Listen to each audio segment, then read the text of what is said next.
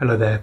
Welcome to these quick tips on how to photograph your glass art to get the most out of it and get it recognised by people, especially when you're posting it online.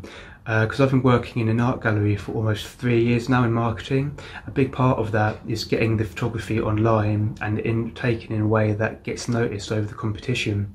And with glass art, a lot of that is about the lighting, pretty much all about the lighting. Um, one thing I've found that is really good is to use different coloured lights.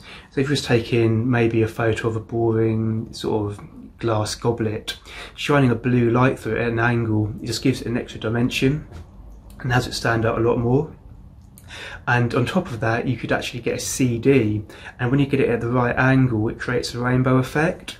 So I found that works really well as well, just to get you know people to look at your stuff as opposed to the competition and then you know that's your way in. Uh, you can also underlight it using, let me see here, using, a, that's what we call it, a light pad in combination with a plexiglass table.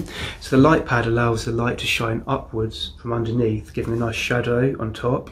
And the plexiglass table um, actually absorbs a lot of the light and stops the reflection comes off. That, that might not be uh, technically true, but from what I saw as a result, that is what happened.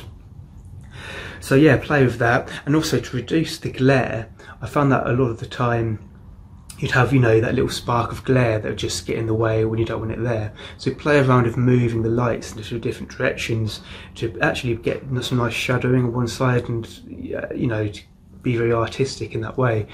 So that's all I can think of off the top of my head in my notes there. I've actually got a full step by step down in the link. Um, yeah, check that out. I've got a whole article on it and let me know what you think. Cheers then.